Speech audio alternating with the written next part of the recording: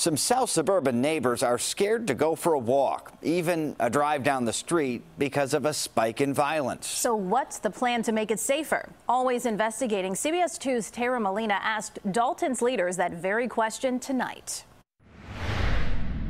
You're afraid to, to walk to the store, or you're afraid to uh, go in your backyard and to have a barbecue. People are scared. Pastor William Fleshman of Dolton's Abundant Living Christian Center says he hears it every day.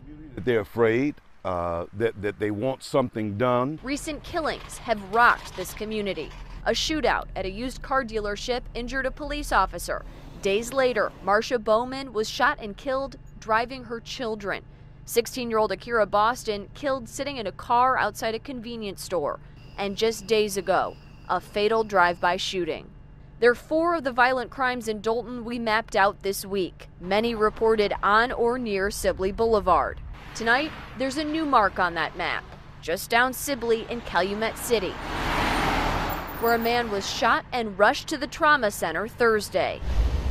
In another neighboring community, Riverdale, police found a woman's body in an alley, badly burned, strangled. You know, it is alarming. And, uh, you know, I've had some of my residents, I've had some visitors that say, hey, is it safe to come to Dolton? I sat down with the village of Dolton's mayor. He says violence isn't just up in Dolton. This criminal activity that, that, that involved in some of these other communities that surround us, uh, they're just not highlighted.